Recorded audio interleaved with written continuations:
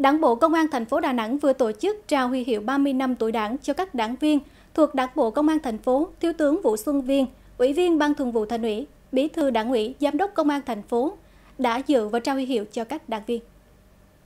Đợt này, Đảng bộ Công an thành phố có 3 đảng viên được trao huy hiệu 30 năm tuổi Đảng, gồm Đại tá Nguyễn Văn Hoa, Thượng tá Nguyễn Thị Tuyết Lan và Trung tá Nguyễn Trí Dũng. Đại diện cho các đảng viên được trao huy hiệu đợt này – Đại tá Nguyễn Văn Hoa bày tỏ niềm vinh dự và tự hào khi được nhận huy hiệu 30 năm tuổi đảng.